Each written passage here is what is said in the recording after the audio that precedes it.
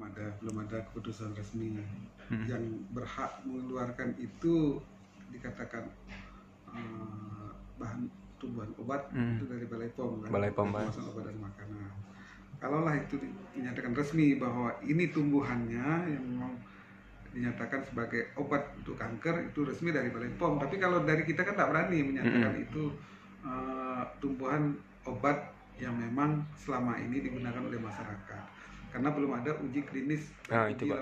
laboratorium.